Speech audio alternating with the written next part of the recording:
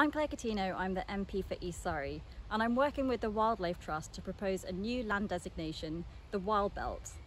I'm here in Bay Pond in Godstone in my constituency today, which is a triple SSI, um, which is a site of special scientific interest, a biodiversity hotspot which is currently protected under planning laws.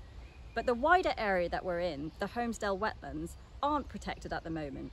And there's a huge amount of conservation work that's been happening here, and it's happening right across the country because we're investing three and a quarter billion pounds into putting nature into recovery. But that work at the moment isn't currently protected under current designations. Alongside the triple SSI, we have things like the Green Belt or the AONB, which protect landscape value, but what we don't have is a protection under planning law for nature in recovery.